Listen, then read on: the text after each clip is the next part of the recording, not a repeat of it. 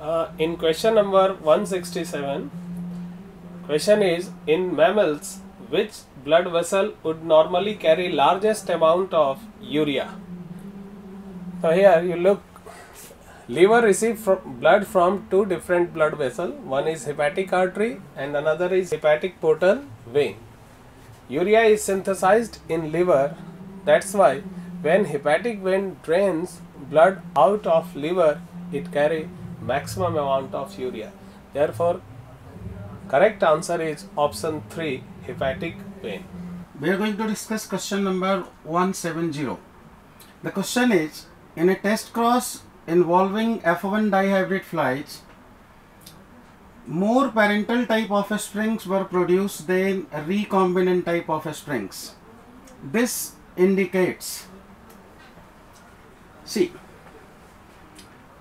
there is a tools to identify either any result is due to independent assortment or linkage.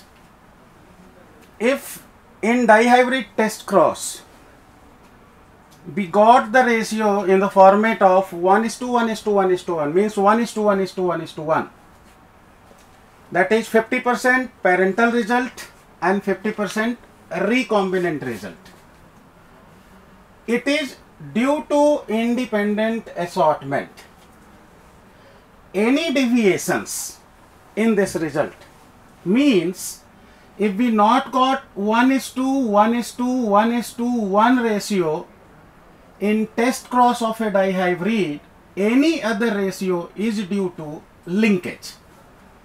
In the question it is mentions we got more parental result. Means the questions is clearly saying here it is due to linkage not due to independent assortment. And in linkage two genes are present on same chromosome. Hence the third option is saying two genes are linked and present on same chromosome is the correct answer